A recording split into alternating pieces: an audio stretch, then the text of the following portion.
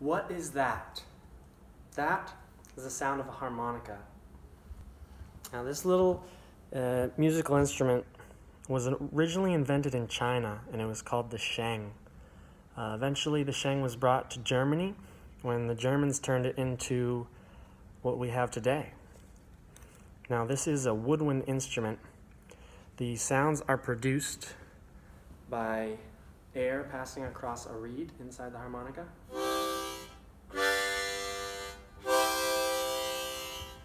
So in this little harmonica, there is a top and a bottom.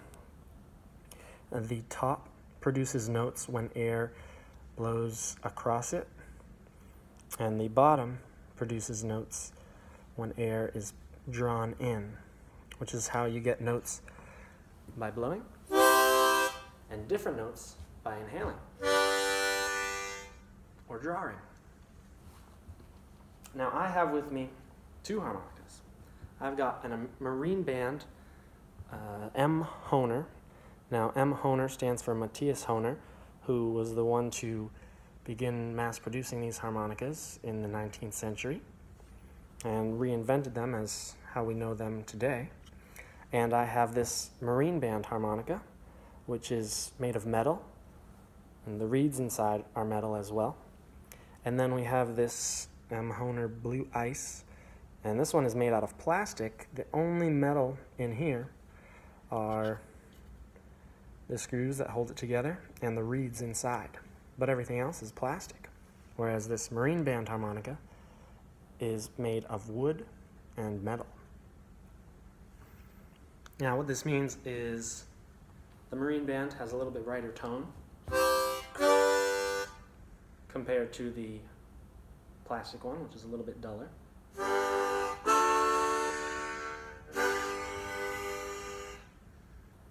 But now I want to explain how we have so many notes on such a little instrument.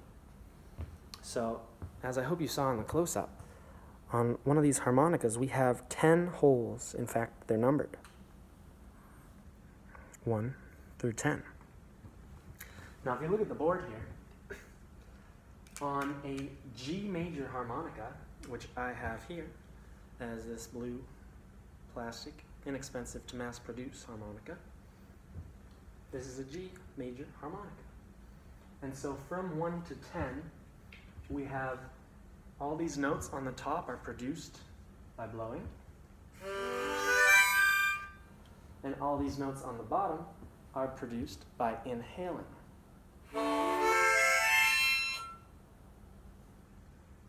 And so you can see as you look across this that we have every note in the scale of G major, which in G major we have one sharp. Now the scale itself can be played from the fourth hole to the seventh hole. And that is done by blowing, inhaling, blowing, inhaling, blowing, inhaling, inhaling, and blowing. And it sounds like this.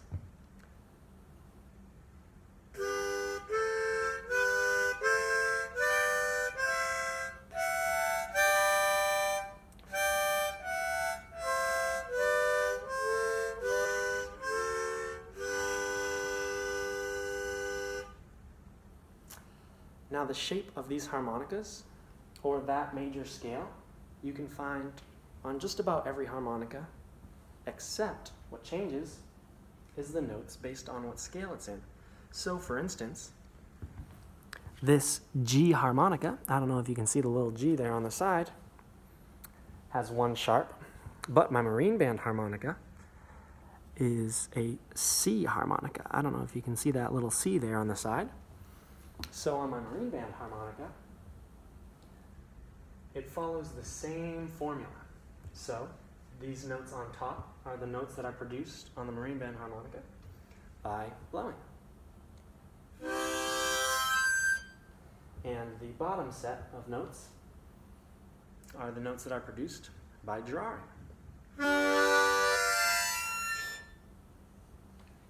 And so you'll be able to hear a very similar sounding scale from the fourth hole to the seventh.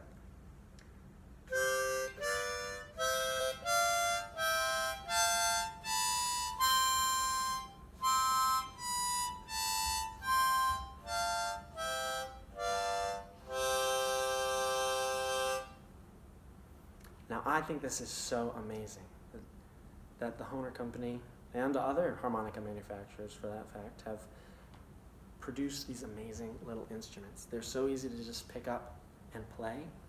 And what you can see by analyzing the notes that are available, we see that all the notes that are blown are a part of the C major scale. So the C major scale is C natural, E natural, and G natural. C, E, G.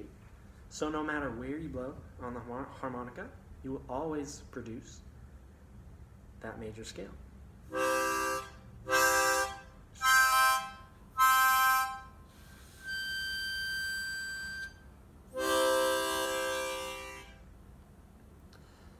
Similarly, on just about every location where you draw a breath, you create a dominant chord.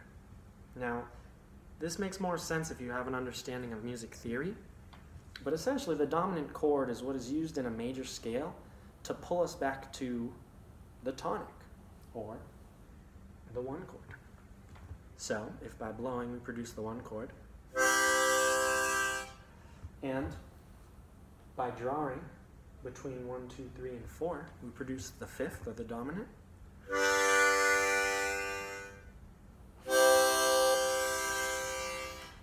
It becomes really simple to create interesting songs.